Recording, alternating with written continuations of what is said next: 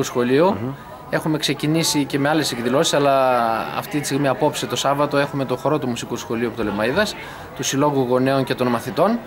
Ε, για μας αυτός ο χορός δεν είναι απλά ένας κοινός χορός όπως όλων των συλλόγων.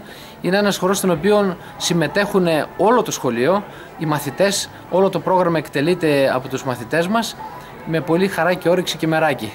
Πολύ χαρούμενοι όλοι απόψε, τα παιδιά είναι έτσι πάρα πολύ δυναμικά και θα μας παρουσιάσουν ένα πρόγραμμα μοναδικό με παντός είδους μουσική.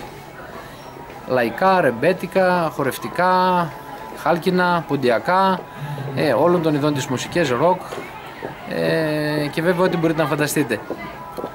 Σας ευχαριστούμε που έρχεστε και καλύπτετε τέτοιου είδους δραστηριότητες.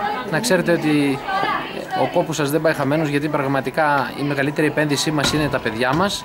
Γι' αυτό και εμείς σαν σχολείο προσπαθούμε να δίνουμε το καλύτερο δυνατόν στους μαθητές μας, να μπορούν να εκφράζονται, να μπορούν να τραγουδάν, να μπορούν να χαίρονται τη ζωή. Σας ευχαριστούμε πολύ. Ναι. Ε, καλησπέρα. Σας καλωσορίζουμε απόψε στον καθιερωμένο ετήσιο χορό του Συλλόγου Πονέων και Κηδεμόνων. Απόψε θα ήθελα να ευχαριστήσω ιδιαίτερα τα παιδιά μας ε, για τη συλλογικότητα που δείχνουν, καθώς και όλους τους καθηγητές. Το πρόγραμμα, το απόψινό πρόγραμμα ε, θα είναι εξ ολοκλήρου δουλειά των μαθητών όπως και κάθε χρόνο και θα περιλαμβάνει από λαϊκός και ροκ. Σας ευχόμαστε καλή διασκέδαση